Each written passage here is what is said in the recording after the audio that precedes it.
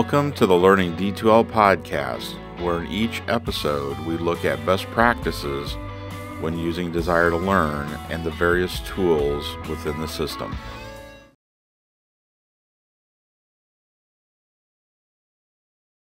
In this podcast, we're going to look at copying content over from one course into an empty course shell.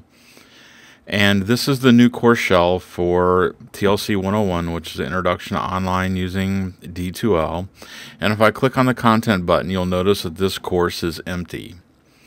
Now, it used to be when you wanted to copy content over, you'd go to Tools, Edit Course, and go to import export copy components and you can still do that um, and it takes you to the the tool here um, I'm actually going to go back to the content area and you'll notice that in the content area if there's nothing in there there is an import course button.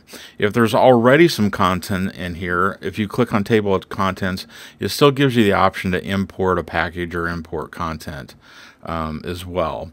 But if um, there is nothing at all, that comes up by default right at the top of the page. And I'm going to copy an existing course.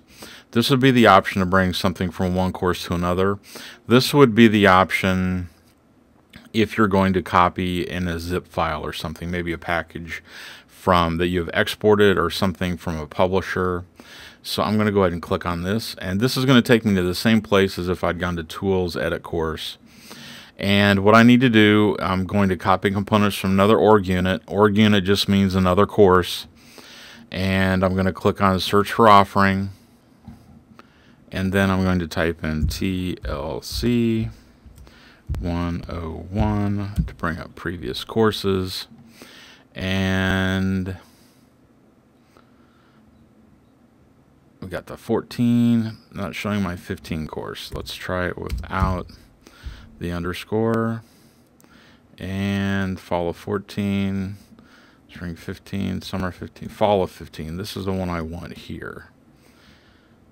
Fall of 2015. So I just put a check or put a click the radio button in front of that offering, click Add Selected, and you'll see the course listed here now. And down at the bottom, I'm just going to go ahead and click on Copy All Components. And you'll notice that the copy is in progress. I have a update here at the bottom, and we've got a spinning icon here showing that the thing has been queued and it's waiting for processing. When it's done, I get a green circle with a check mark and I get the option to copy another package in or to view the content. I'm going to go ahead and click on view content. And here is my content. I brought in all eight modules and we should be all set. It did bring in, notice I've got some conditions set, those copied in and everything. So that's all that you need to do to import content from one course to another.